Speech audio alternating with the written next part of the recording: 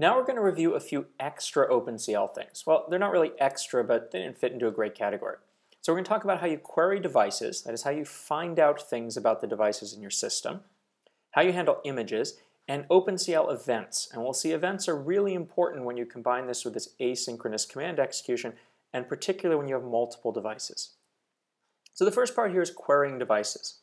There's an OpenCL command, clGetDeviceInfo, that can give you lots of seemingly useful information about devices. So for example, you can call it with CL device max compute units. And this will tell you the number of compute units that can run in parallel on a device. So obviously the more compute units you have, the faster the device is going to be. You can call CL device max clock frequency. It'll tell you the maximum frequency a device will run at. Well, this begs the question, when would the device ever not be at the maximum frequency?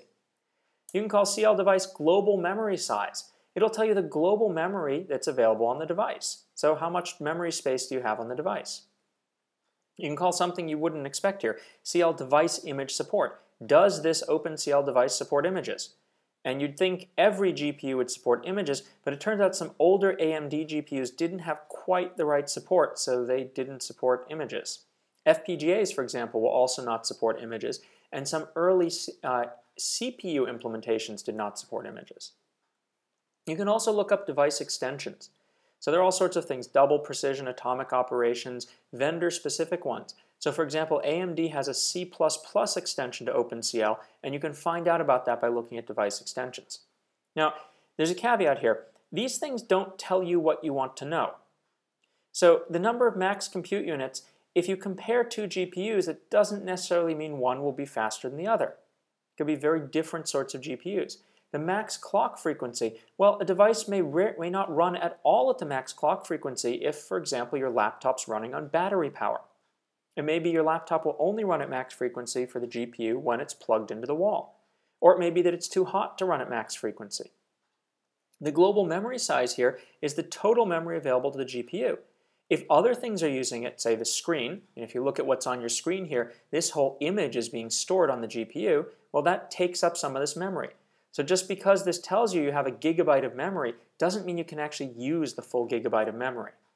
So these are useful for getting a rough idea, but don't rely on them for specific exact values. All right, images. OpenCL supports 2D and 3D image types natively. Makes sense. It's designed to work with GPUs, which do a lot with images. So you have multi-channel images, you have intensity images, all sorts of things, and lots of formats. 8, 16, 32, signed, unsigned, and float. So think about how that might apply in this class.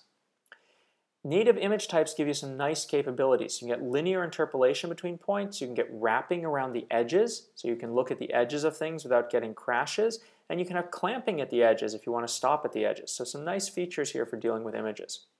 Why do they have this? Well, it's pretty simple. These are hardware accelerated. Remember, we're running on a GPU. G stands for graphics. These things are designed to do graphics. They have lots of hardware for handling images.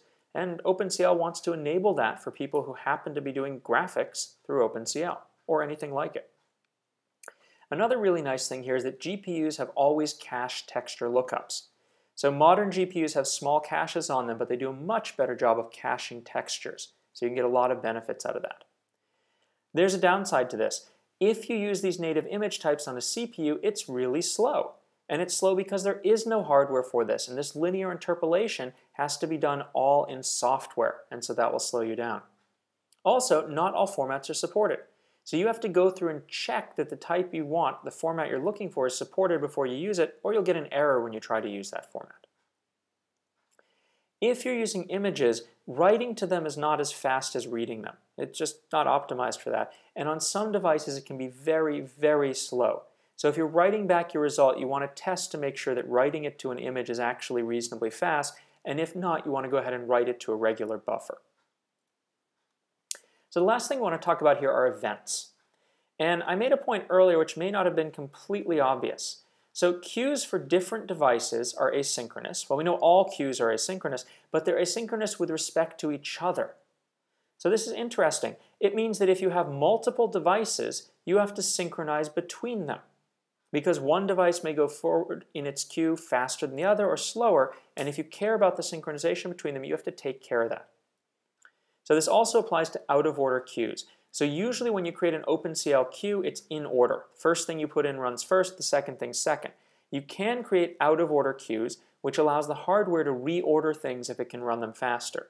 And if you have to enforce different orders with an out-of-order queue, you need to be explicit about that too. The way you're explicit about that is with events. So let's take a look at how events work in OpenCL. So every CL enqueue command has three things at the end. Three things here are number of events in list, wait list, and events returned. And what these are is it can return an event to track it. So the last thing here will give you an event object which tracks this thing you enqueued. So if I enqueue a kernel here and I ask for an event back, I can use this event to find out if the kernel's done, and I can use this event to have other things wait for the kernel to finish. So this part's the event you return, but you also get a list of events to wait for. So that's this other part here. Here I've told it, here's the number of events I want you to wait for in my list, and here's a list of events that you should wait for. So by combining the two of these, I can tell things that I enqueue to wait for particular things to finish before they go ahead and execute. You can also do some other fun things with events. You can get profiling information. So I can ask this event, what is the time that it was enqueued, when it was submitted, when it started and ended. So I can see how long it waited in the queue, and I can see how long it took to execute once it got to the device. So let's take a look at an example of events here.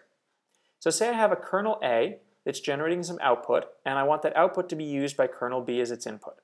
But kernel A runs on the CPU, and kernel B runs on the GPU. So I've got a problem here. I need to make sure that kernel B waits for kernel A to finish because B needs the output from A. If B runs before A is finished, it'll have garbage data as its input because A's output won't be ready and you'll get corrupt values. So how do we do this? Well, it's pretty simple. We're going to use events. We're going to go in here and we're going to take kernel A. When we enqueue it, we're going to get an event back. And then when we enqueue kernel B, we're going to tell it, I want you to wait on this one event. This will cause kernel B to wait and not execute until kernel A finishes. So pretty straightforward. Now let's take a look at this a little more detail. So what's missing here?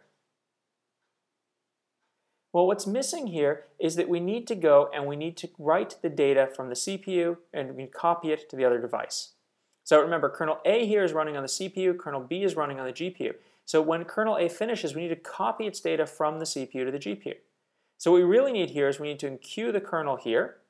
We need to have that kernel return an event, do a copy, have the copy wait for that event, enqueue this kernel here, but have this kernel wait on the copy. So we need to explicitly move the data back and forth and make sure that we do that in a synchronized manner.